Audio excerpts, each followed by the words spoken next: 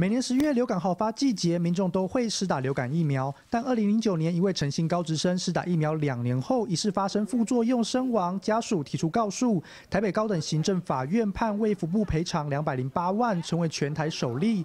是否会降低接种流感疫苗人数？民众说还是看个人意愿。需不需要打？看看个人的意愿，我觉得是这样。老人家不是说抵抗力比较强，体那个免疫力系统也比较弱了，对不对？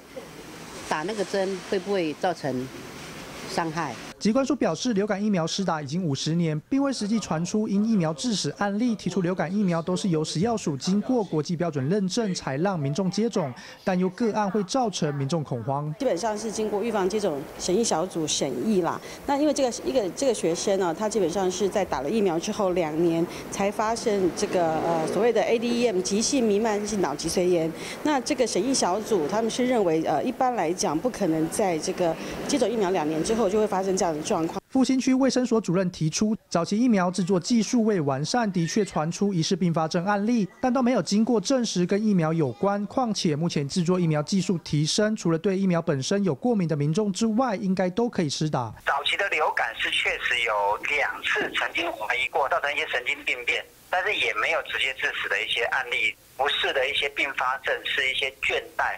呃，疲疲累或者是注射地方疼痛，啊，并没有一个致死的一个并发症。